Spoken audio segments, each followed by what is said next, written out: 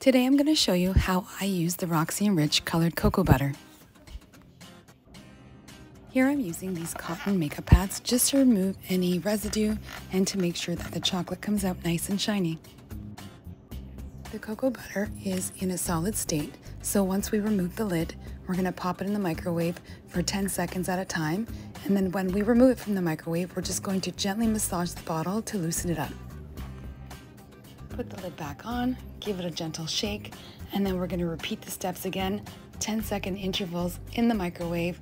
Gently massage the bottle, shake it up until a liquid begins to form.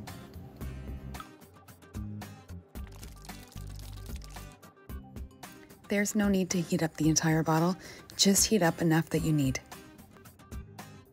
Pour some of the cocoa butter into a small bowl and we will begin to temper it next. I will be using this digital thermometer set to Celsius along with a hair dryer to heat up the cocoa butter. We are going to heat the cocoa butter up to 40 or 41 degrees Celsius while we are constantly stirring with the tip of the thermometer.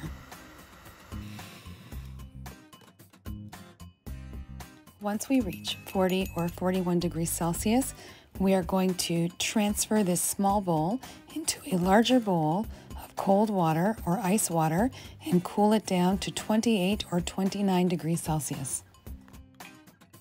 Continue to stir the cocoa butter with the tip of your thermometer until it gets to 28 or 29 degrees Celsius.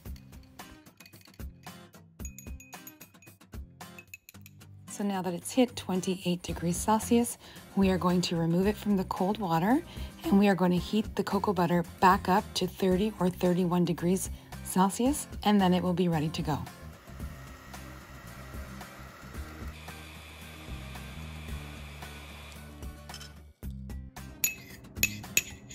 The cocoa butter is now in temper and ready to use. If you are going to use your fingers, to create the designs inside your molds, I would suggest using food safe gloves because this can get messy.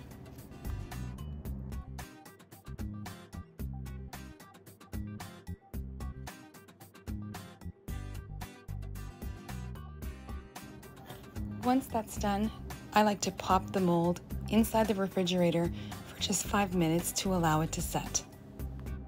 Let's add another color to the mold. I've already tempered the yellow cocoa butter. I'm using a paintbrush to flick the cocoa butter inside the cavities, but I would suggest maybe using a toothbrush, you'd probably get better results.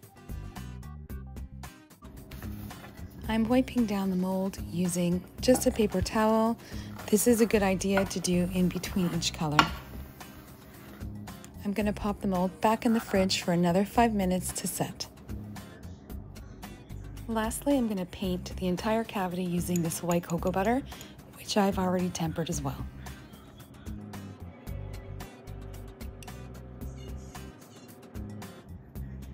Now that I've painted the cavities, I'm going to pop it in the fridge one more time for five minutes to set.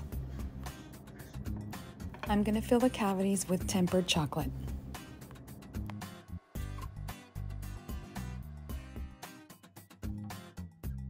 Now we're going to tap the sides of the mold gently, and this should remove any air bubbles that may appear on the surface. Turn your mold over and all the excess chocolate will just fall right out. Once you clean off the surface of the mold, place it in the refrigerator for 15 to 45 minutes to set. When you see the chocolate contract away from the mold, you know they're ready to be popped out. At this point here, you would actually fill your chocolate with something like a salted caramel, and then you would seal it back up with more tempered chocolate, but we'll save that for another video. I was quite pleased with how these turned out. I've been experimenting with tempered chocolate and cocoa butter for months, so I was happy with how these turned out and figured I would put it here on YouTube for you guys. I hope you enjoyed the video. Thanks for watching. Be sure to subscribe and like this video. Thanks, guys.